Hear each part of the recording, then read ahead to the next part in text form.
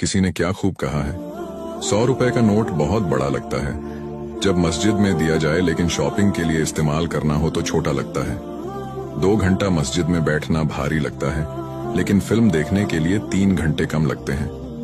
एक cricket match की commentary सुनने के लिए लोग पागल हुए रहते हैं लेकिन जुम्मा का खुतबा थोड़ा वक्त से ज्यादा हो जाए तो लोग परेशान हो जाते हैं ऐसी वीडियो आगे शेयर करना मुश्किल है लेकिन लतीफे और बेहुदे वीडियो को शेयर करना लोगों को अच्छा लगता है